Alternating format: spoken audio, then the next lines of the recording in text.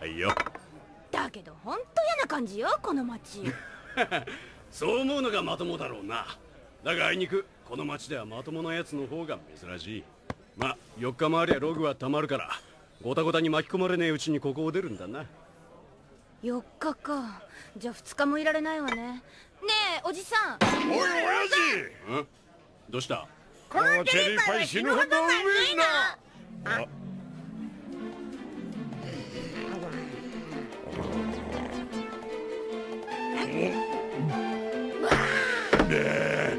このドリンクは格別にまずいな。てめえ舌おかしいんじゃねえのかおめえ頭おかしいんじゃねえのか。まあ俺はコックじゃねえからなんて言われてもいいんだがよ別に。なあおさん。俺肉50個お土産に。親父俺らチェリーパイ51個お土産に。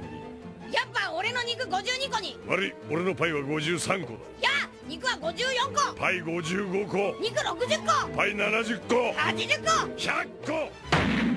なんだおめえやんのか。なんで喧嘩になってんだお前ら。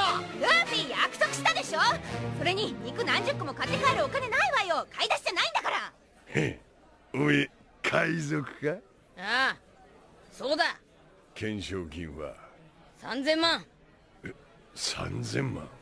おめえがそんなわけあるか！嘘つけ！嘘なんかつくか！本当だ！やめろ！ほらほら店の中で乱闘はごめんだぜ。てめえはこれ持ってさっさと帰んな。チェリーパイ50個